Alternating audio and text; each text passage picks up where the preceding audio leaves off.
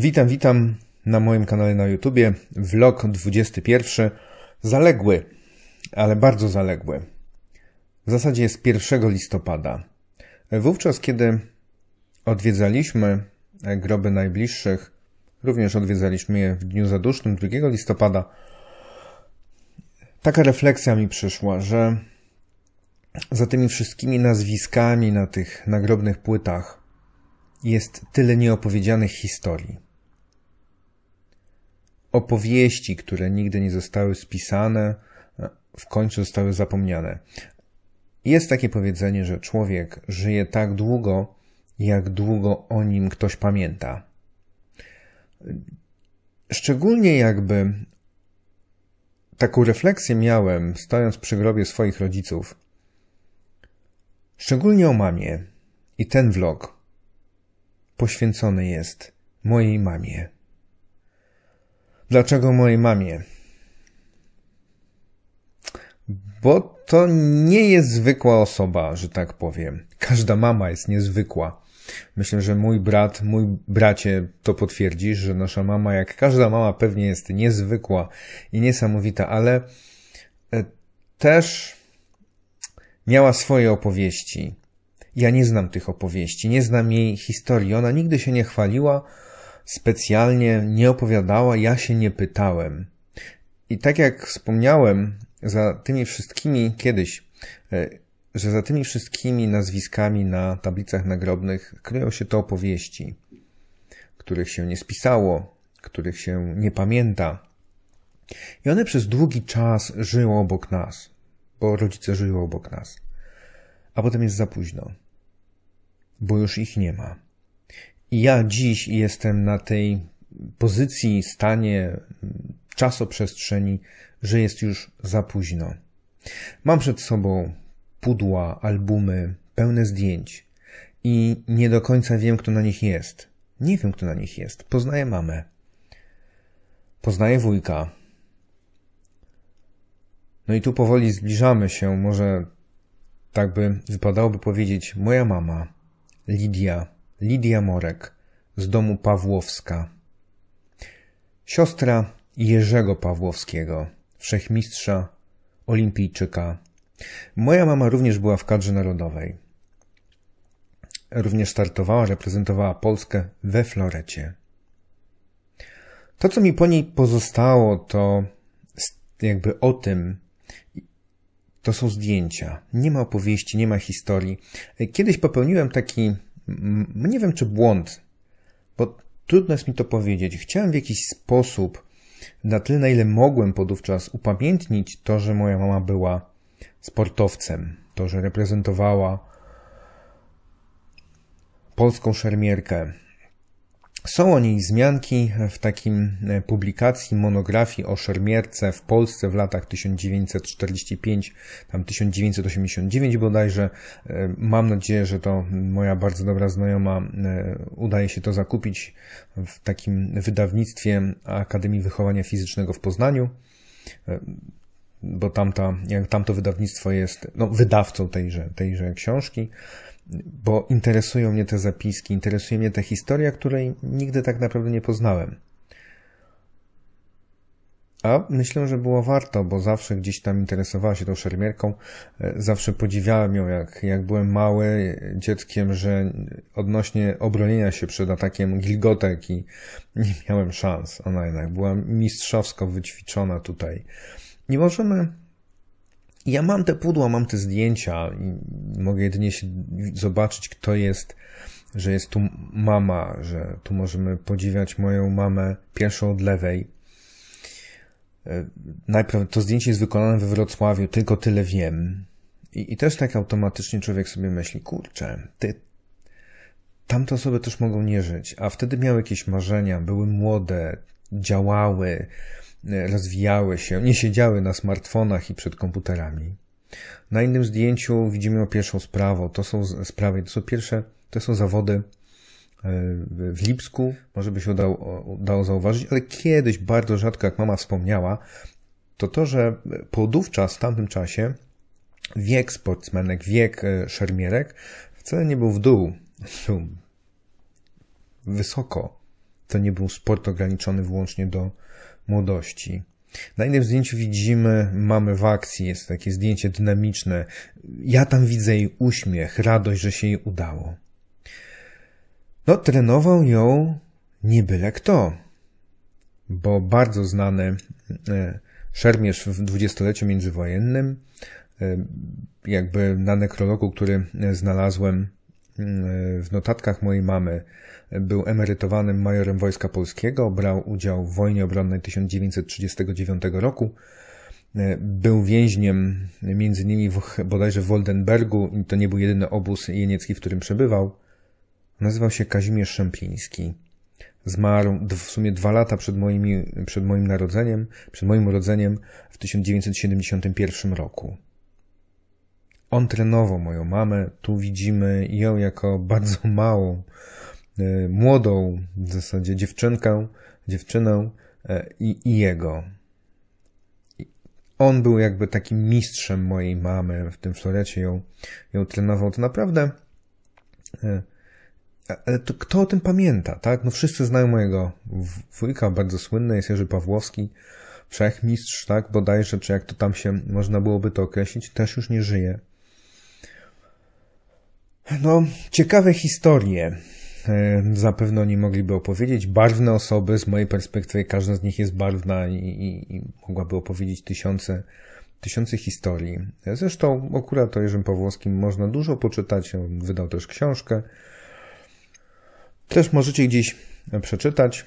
E, pamiętam jeszcze, jak przez takie mgnienie, bardzo takie bardziej flashback e, mojego dziadka, z tego co wiem, e, pomimo informacji, które krążą, nie był w AK. Babcia była tutaj jakby bardzo taka radykalna, aczkolwiek zawsze pamiętam taką pozytywnie nastawioną, taką zaangażowaną również, bardzo konkretną osobę ale potem to też jakby się rozmija, bo e, to, czego my młodzi, może już nie do końca ja, ale wcześniej, że żyjemy obok swoich rodziców, obok swoich babć, dziadków i po części od nich uciekamy. Uciekamy od starości, uciekamy od ich utyskiwań, nie chcemy, boimy się, tak jest bardzo często. Pędzimy swoim życiem, a oni mają historię, oni mają opowieści. I teraz mi powiem wam, bardzo tych opowieści brakuje. Nie są w żaden sposób spisane i kompletnie nie wiem, e, czy kiedykolwiek będzie jeszcze szansa, żeby w ogóle odkryć to w jakiś sposób. Może brat mi trochę pomoże. Mam nadzieję, bracie. Ale to są zupełnie jakby to już nie jest ten pierwszy przekaz. Całej masy już nie, jakby nie usłyszymy.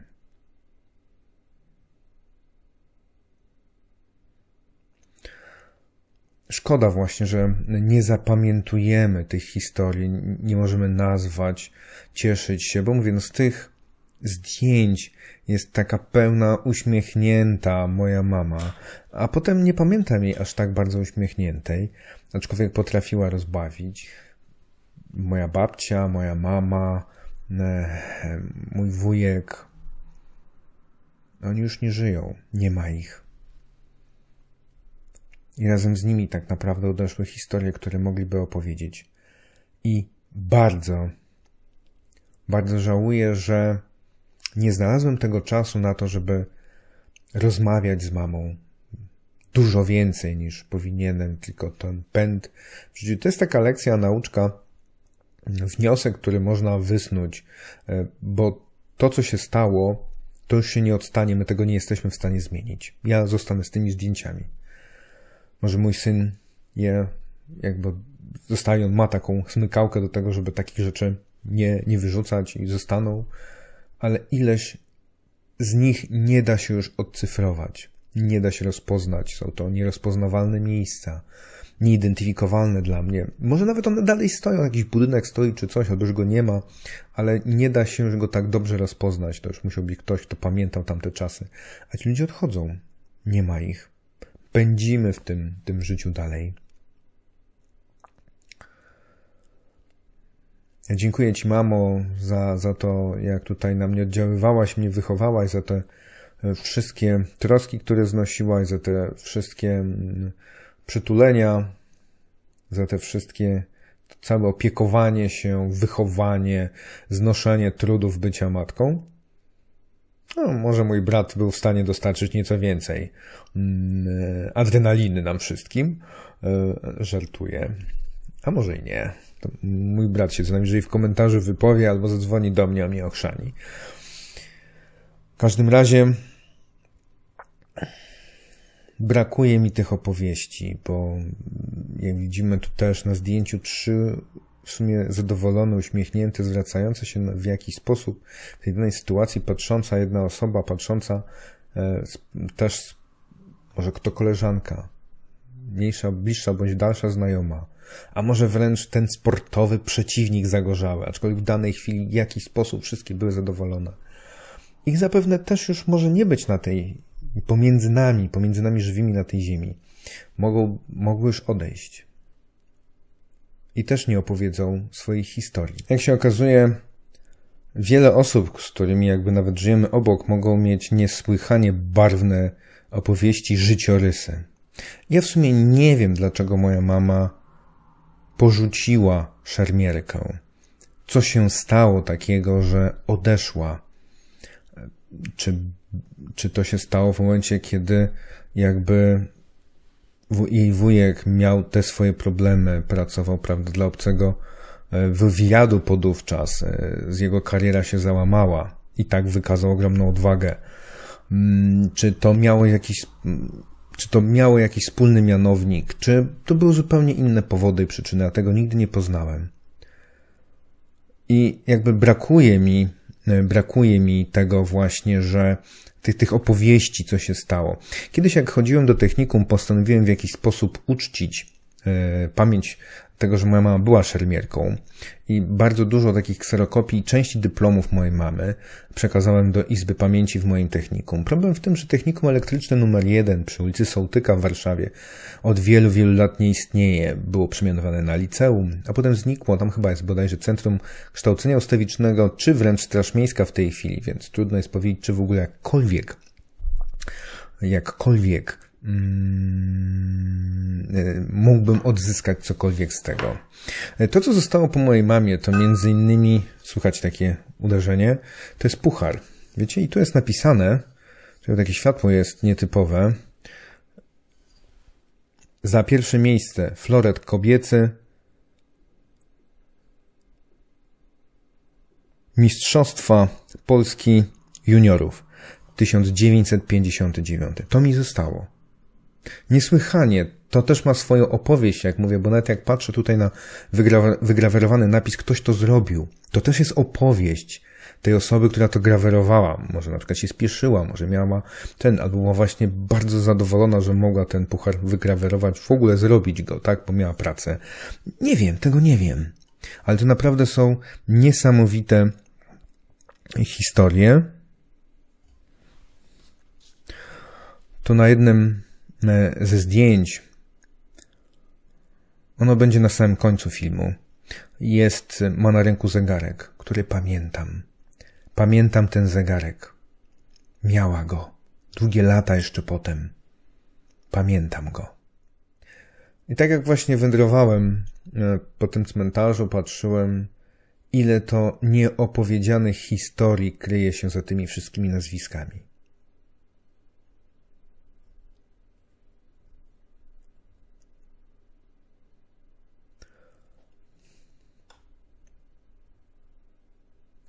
Jeszcze raz dziękuję Ci, mamo.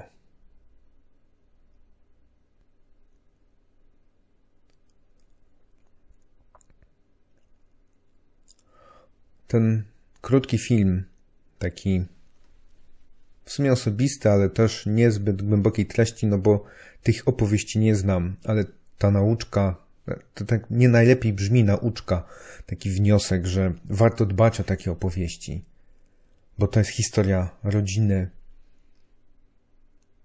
można jakby zupełnie inaczej popatrzeć. A tak jak mówię, moi w sumie obydwoje rodziców wcale do tej historii nie, nie wracali. Ja się nie pytałem. A teraz już jest za późno.